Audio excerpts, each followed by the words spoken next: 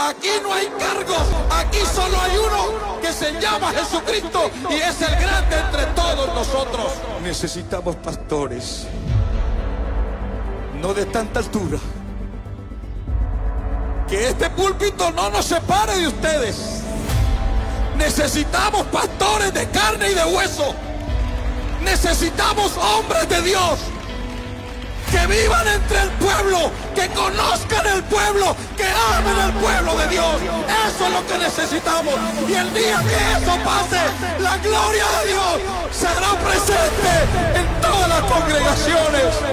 Razón tiene el Señor Jesús cuando dice, aprendan de mí, que soy manso y humilde de corazón. Pastor, hermano, diácono, la humildad no está aquí en el bolsillo. La humildad está aquí en el alma, aquí en el corazón. La humildad no se mide por títulos académicos.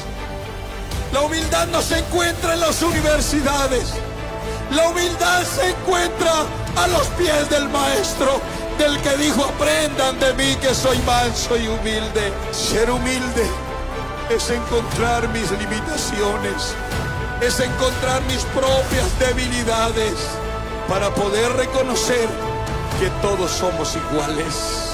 Necesitamos pastores que de su corazón irradien amor, amor por los perdidos, amor para los nuestros, amor para los que sufren, amor para los que lloran.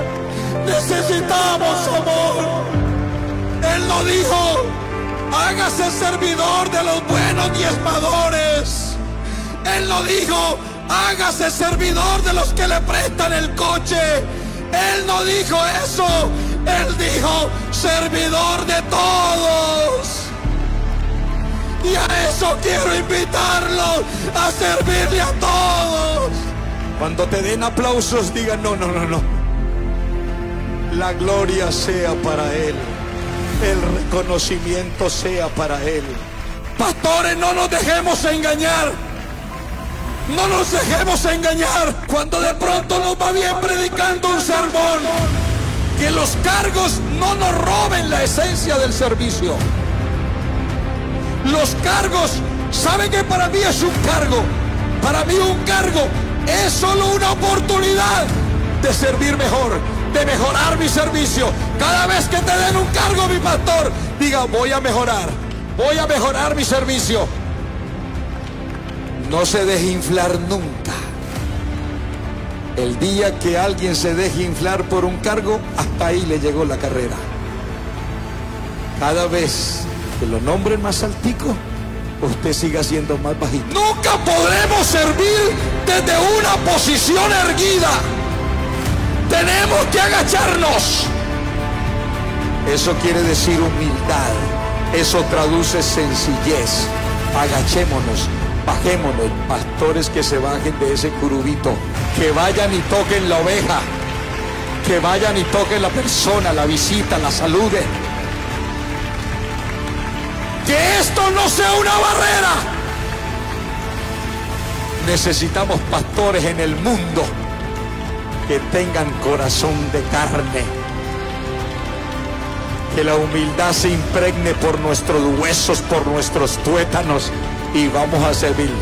Le lavó los pies a todos. Y usted preguntará, ¿a todos? Y yo tengo que decirle sí, a todos. A una Judas que sabía que lo iba a entregar le sirvió con la misma gana.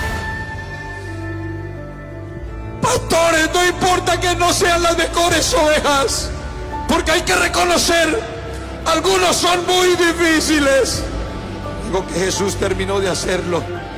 Nos muestra que no lo hizo para ser admirado no quiso que se contara solo la historia de lo que hizo el maestro aquella tarde. Se puso su manto de nuevo, insignia de autoridad, para decir, escúchalo, así como yo hice, hagan entre ustedes